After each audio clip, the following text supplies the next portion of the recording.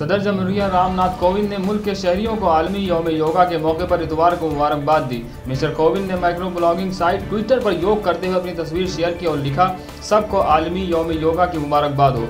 कदीम योग साइंस इंसानियत को हिंदुस्तान की जानब से एक अनमोल तोहफा करार दिया। वज़ीर आज़म नरेंद्र मोदी ने कोरोना वबा के तनाजुर में योग के बढ़ते हुए किरदार पर ज़ोर देते हुए इतवार को कहा कि दुनिया को पहले के मुकाबले में अब योगा की ज़्यादा ज़रूरत महसूस हो रही है, क्योंकि इससे क़वत मुदाफियत मज़बूत होती है। दहाई का पहला मुकम्मल सूरज ग्रहण एतवार को हुआ। जिसके मुशाहिदे के लिए लोग तेलंगाना और उसके दारकूमत हैदराबाद में लोग काफ़ी पुरजोश थे। हैदराबाद में इक्यावन फ़ीसद सूरज गहन देखा गया। तेलंगाना में इस जुजवी गहन का आगाज़ दस बजकर पंद्रह मिनट पर हुआ और ये एक बजकर चवालीस मिनट पर अख्ताम पजीर हुआ। टोली चौकी हकीम पेट चौराहा और पैरामाउंट कॉलोनी रोड पर ड्रेनेज का गंदा पानी बह रहा। बहने से मकामी अवाम ने की शिकायत।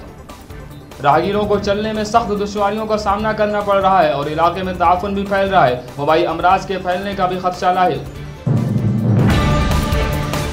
हिफान सेहत के लिए हर इतवार 10 बजे 10 मिनट। सफ़ाई की तेलंगाना के वज़ीर बलदी नसमनस के टी रामा राव की मुहिम के सातवें हफ़्ते के मौके पर भी बेहतर रद्दमल देखा गया। वज़ीर के टी आर के अलावा श्रीनिवास गौड़, दयाकर राव, सतवती राठौर ने भी मुहिम में हिस्सा लिया। बैन अवी योम योगा के मौके पर तेलंगाना के वज़ीर आबकारी टी. श्रीनिवास गौड़ ने शहर हैदराबाद में वाक़ अपनी क्यामगाह पर सी आई आई के जेर एहतमाम मुनद योगा के प्रोग्राम में शिरकत की। तेलंगाना रियासत के असल नज़रिए सास प्रोफेसर जयशंकर की आज बरसी के मौके पर रियासत के वज़ीर इंफॉर्मेशन टेक्नोलॉजी के तारक रामाराव ने, के तारक रामाराव ने उनकी खिदमत को खराज पेश किया। दुर्गम चीरू केबल ब्रिज का तामीराती काम आखिरी मराहल में दाखिल हो चुका है। माह जुलाई के अवाखिर तक ये ब्रिज आवाम की आमद व रफ्त के लिए खोल दिया जाएगा। तमिलनाडु के वज़ीर आला ई के पालानी स्वामी ने कहा कि ईश्वर ही जानता है कि रियासत तो मुल्क से इस वबा का खात्मा कब होगा। हिंदुस्तान में ग्रिलमार्क कंपनी की जानब से कोरोना वायरस की गोली मुतारफ करने के दूसरे ही दिन हिंदुस्तान की मशहूर हेट्रोड्रग्स ने कोरोना वायरस के इंजेक्शन को मुतारफ किया। अमेरिकी सदर डोनाल्ड ट्रंप ने कहा कि हिंदुस्तान और चीन के माबेन हालिया पुरतशद झड़पों के बाद अमेरिका दोनों ममालिक के माबेन जारी तनाज़ात के हल में मदद करने के लिए है तैयार। सऊदी वजारत दाखिला के एलामिया के मुताबिक इतवार को सुबह छः बजे से तमाम शहरों में कर्फ्यू खत्म कर दिया जाएगा।